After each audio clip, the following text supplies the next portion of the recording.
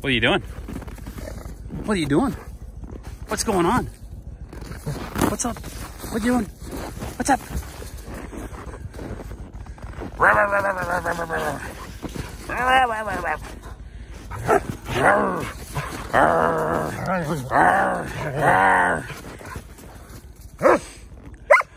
Woof. Whoa. Okay, enough. Sit. Good boy.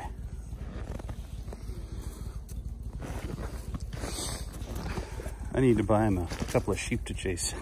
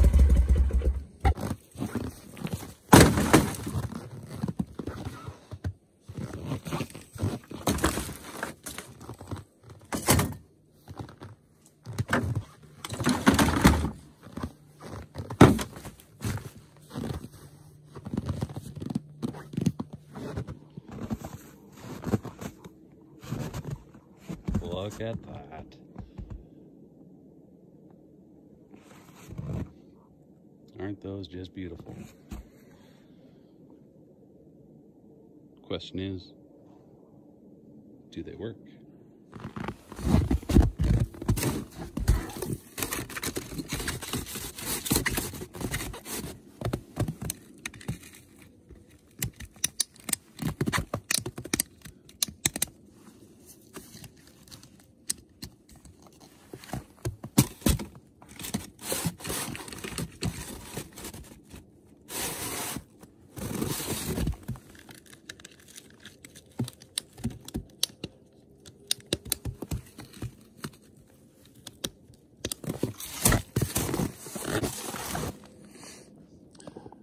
Go for a walk.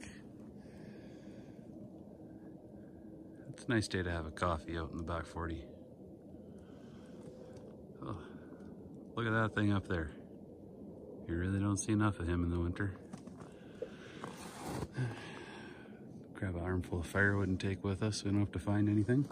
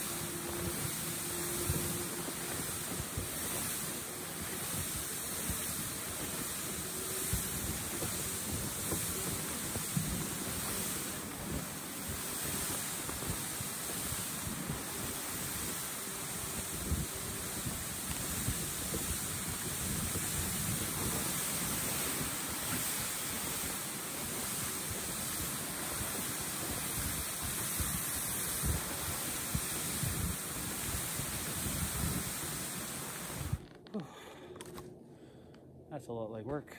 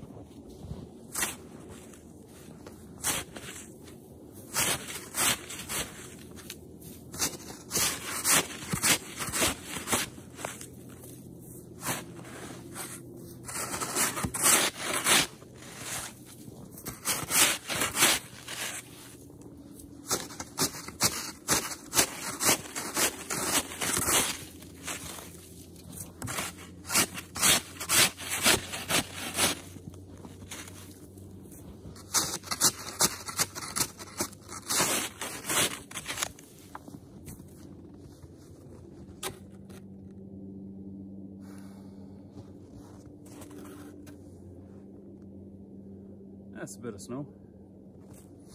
Probably, probably an honest two feet on the level here. Out in the fields, it, uh, it's been blowing quite a bit, so you get big drifts, they're four feet deep, and everything else is, you know, a foot on it. Once you get into the trees though, here is two feet. North of my place about huh, 5k or so right now, we've got about three. I'll dig out a little hole, get some things set up here.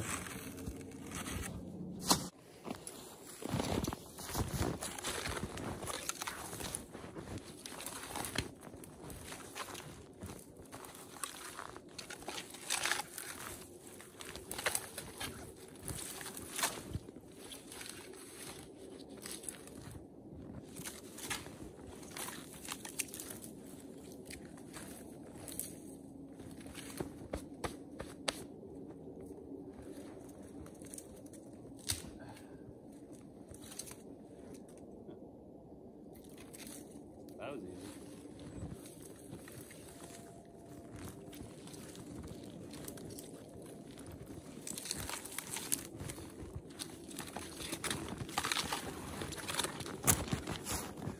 Birch.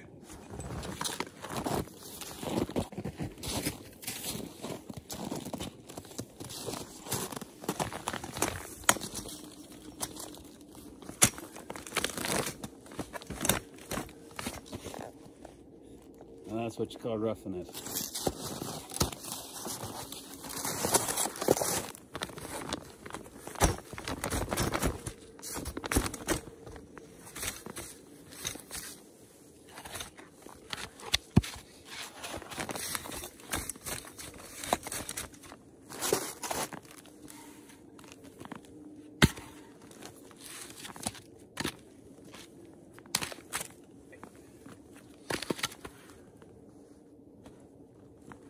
We still need a pot hanger.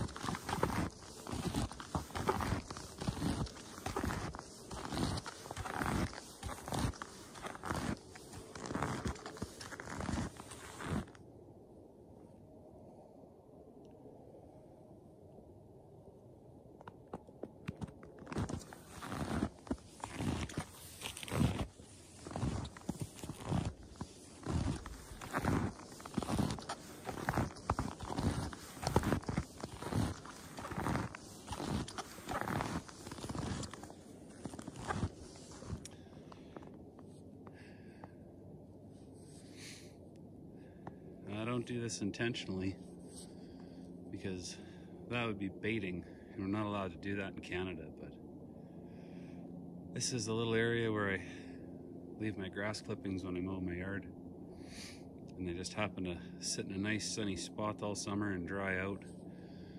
And then the deer come in here in the winter and browse through it which is good because there ain't a whole lot left to eat at this time of the year around here. And they hunt that field hard, hard, hard. A month ago, the deer actually tracked down most of that field.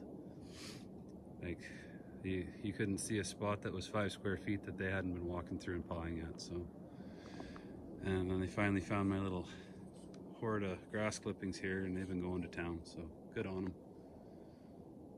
I don't always take a deer in the fall, but usually pay attention to what they're doing all year round. It's actually not as dire as a lot of people say around here for deer. A lot of them think that everything's dying off. The winters are too harsh and the wolves are too many. Uh, we have really good deer numbers around here. They're just getting smart and they only come out at night.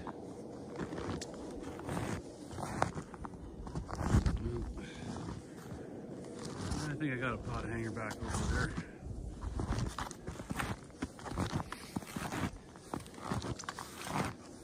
These uh, new snowshoes are the Faber S line, or a sliding snowshoe. and they work surprisingly well. I hate snowshoes. I walk with my feet too close together. It's a habit. I've been doing it for 40 years. and ain't about to change now. However,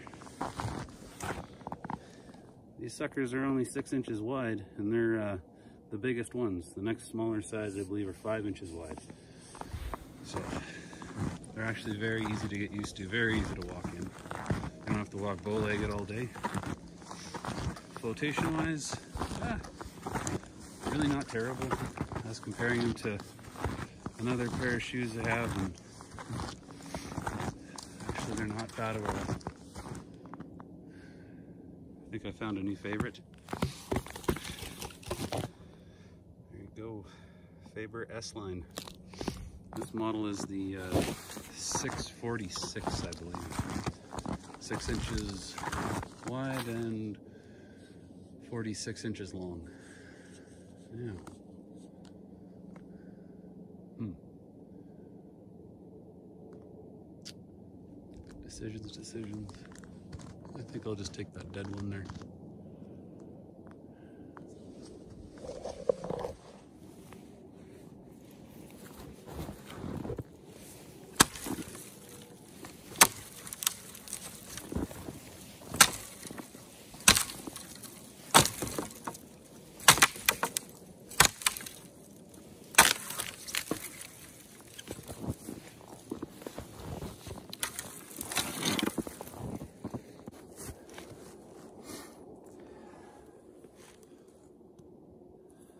These are cotton glove liners. I've been using them for a long time. I always say that, but usually it's because I've been using them for a long time.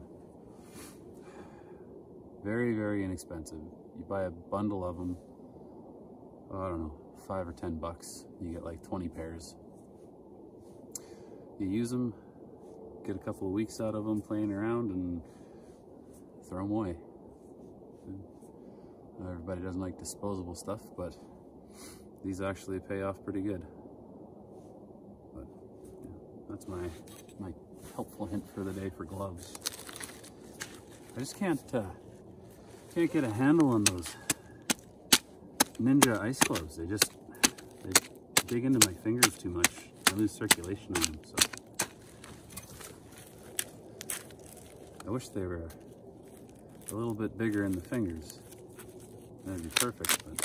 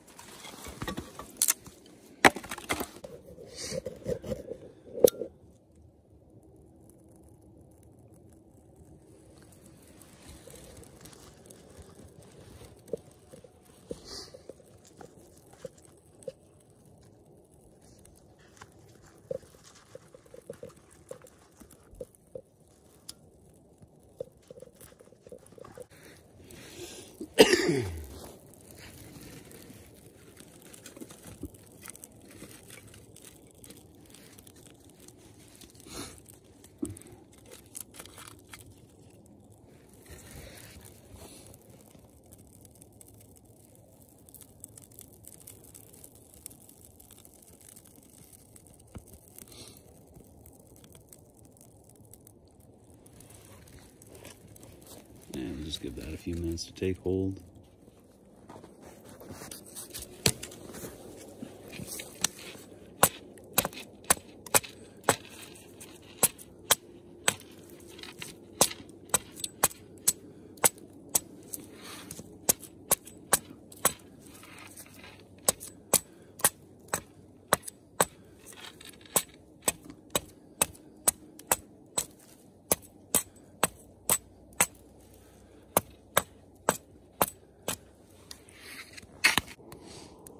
There. We had some primitive technical difficulties. A little bit of rearranging. That's all it took.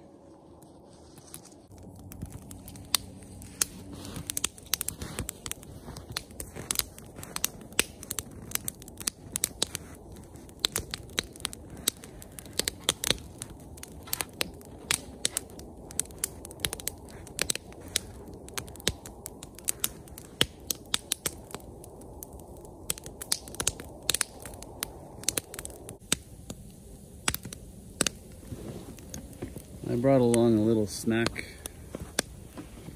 Figure I'd try it with you guys and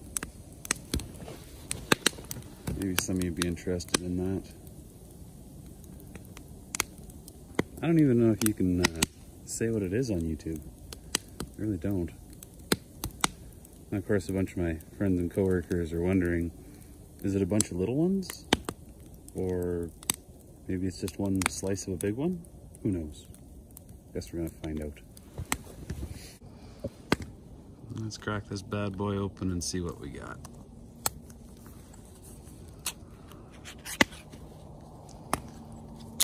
Hmm. Looks good. Smells pretty good. Yeah. Put her next to the fire for a bit and warm it up.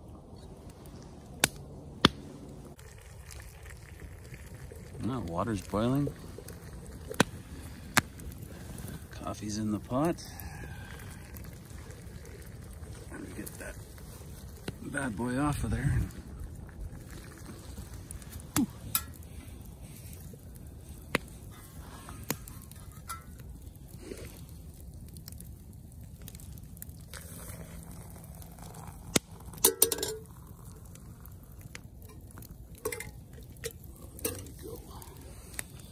That smells awesome.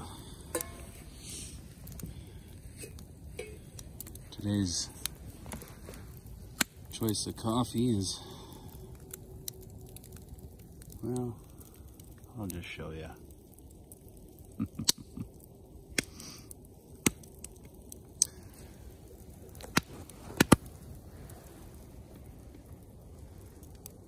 mm. Sniper's Hide is one of my favorite, favorite coffees from Black Rifle. And it looks like our, uh, I can't mention it on YouTube, is done. I don't even know if I can build a thumbnail that shows the cover and have it on the beginning of my video. I'm gonna have to play with my software a little bit and see if I can. I haven't really figured out how to create thumbnails yet. Well, maybe if any of you have a foolproof way to do it in iMovie and then import it to YouTube, you can let me know in the comments. Um, I'm rather technically inept when it comes to building YouTube channels and making videos, so I'll get that out of there and I'll have a taste. Okay, here we go.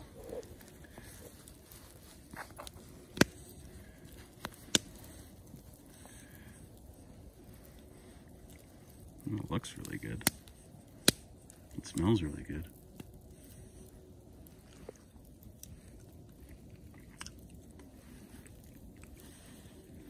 Mm, oh, it tastes pretty good.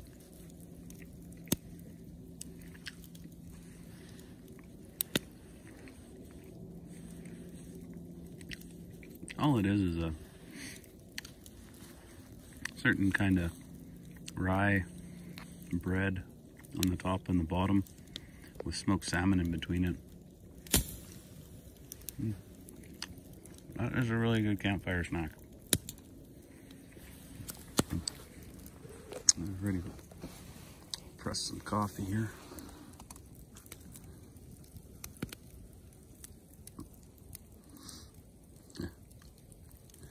Seeing a lot of videos lately all kinds of new coffee stuff that uh, they're coming out. Well, it's the time of the year when they start uh, really uh, pushing summer gear for camping and backpacking because, well, people buy stuff now or start thinking about buying stuff now that they're going to use in the summer. So there's all kinds of little coffee gadgets coming out. But really, come on, a French press. You've got a, a water filter and a pot that you can use. And on top of that, no disposable filters that you have to remember to pack. And you can use once and throw them away. Ah, it's just. I don't know, it just seems easier this way to me. Maybe I'm wrong and everybody has their preference, but I really like a French press out here. I mean, think about it. You have this beautiful little pot that you can use. You got a little basket there at the screen in the bottom. You just wash it and reuse it. Yeah, and they make good coffee. Well, I'm gonna enjoy some fire and finish my little lunch here. Remember, folks, today's video brought to you by Black Rifle Coffee. Oh, and uh, this came from Varusteleka. Um, those guys are pretty much on point with anything that they sell. No complaints there if you don't check out their website or haven't checked out their website, you probably should. Their shipping to Canada is is really good deal. All right, back in a bit. Oh, the fire is starting to die down. Maybe I should give you a few opinions on things. So the Faber snowshoes, or the Faber S line, uh, I used them for Mm, two days over the weekend, well, two part days. stomping around getting uh, getting firewood when I was camping, and honestly, I like them. I'm not a fan of a traditional snowshoe because I walk with my feet too close together. So,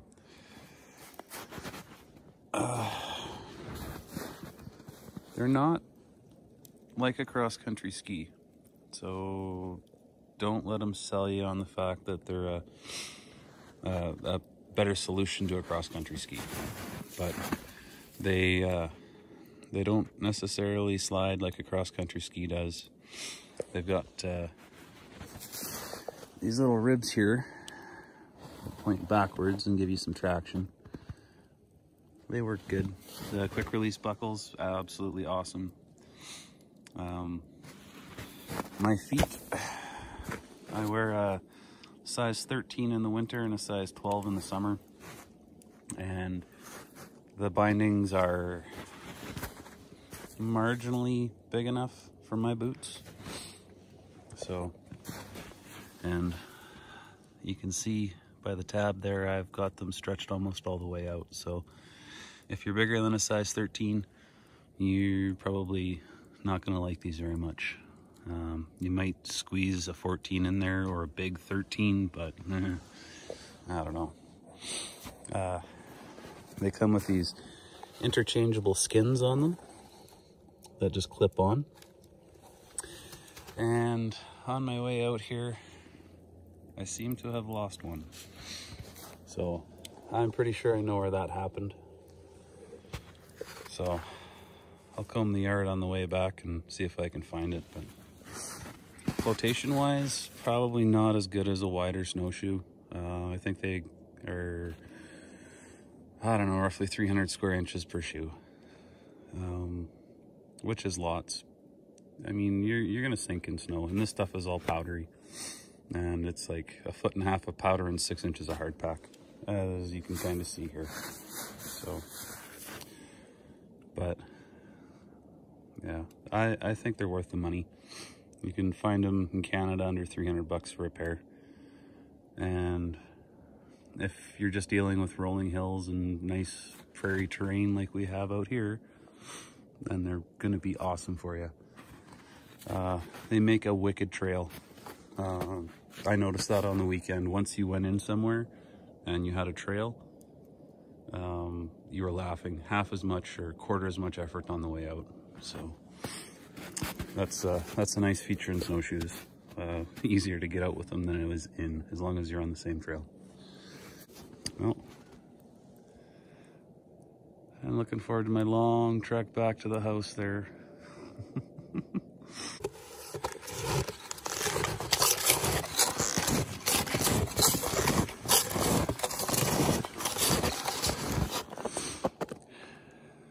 Heck of a path here. But this is what I was talking about. Even without the pulse behind me. These uh, these shoes make a good trail. Super easy to get around with.